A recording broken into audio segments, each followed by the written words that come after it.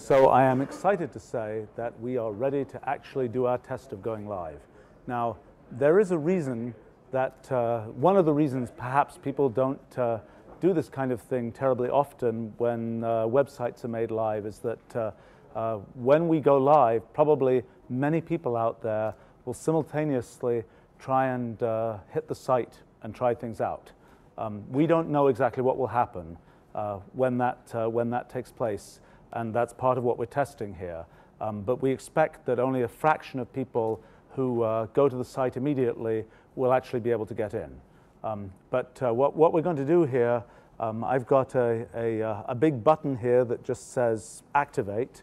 Um, when I press that button, uh, what should happen is that uh, data gets sent to uh, each part of each of our compute clusters um, that them to be able to receive traffic from the outside world and to go live. So, without further ado, let's uh, try and, uh, for the first time, launch Wolfram Alpha out into the wild. Aha, okay, here we go. Wait a minute, no, hold the pause. It isn't working yet. Okay, so some of the, uh, uh, some of the pieces of the clusters are now active. When this whole thing has filled in, all pieces of the cluster will be active. But uh, we should start to see um, uh, queries coming in uh, real soon, I suspect.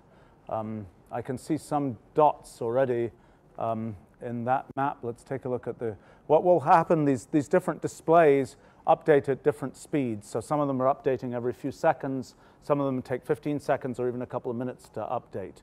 Um, but this is, uh, it looks like we're filling in here. Um, so far, nothing has uh, turned red or anything like that. That's a good sign. Um, the, uh, hopefully, soon, all these things will be active, and hopefully, uh, we will start being able to let people in. Okay, well, they're all active, so now let's see whether we can um, see whether we start to having people be able to get in here. Let's see what's happening. Do we think, uh, does, does it look like things are a go? Yeah? Okay.